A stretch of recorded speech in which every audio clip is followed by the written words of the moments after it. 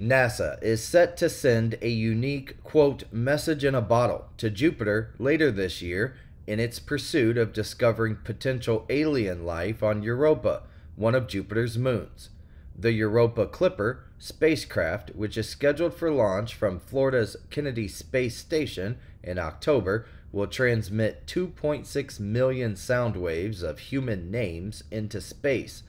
The spacecraft's six year journey to cover 0.6 billion miles is expected to culminate in April of 2030. During this mission, Europa Clipper will orbit Jupiter and conduct 49 close flybys of Europa, revealing strong evidence of a global ocean beneath its icy crust, surpassing twice the volume of Earth's combined oceans.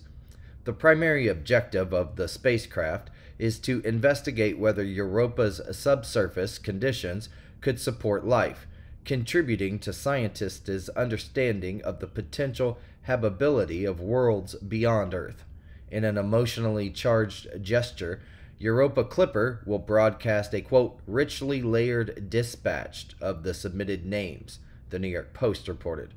Adding to the sentimental aspects of the mission, the spacecraft will bear an etching of the handwritten poem, quote, In Praise of Mystery, a poem for Europa by U.S. poet Ada Limón. It will also feature a portrait of planetary science pioneer Ron Greeley and a reference to plausible radio frequencies from interstellar communication. The spacecraft's triangle plate will carry the Drake equation, a mathematical formulation from 1961 estimating the likelihood of discovering advanced civilizations beyond Earth.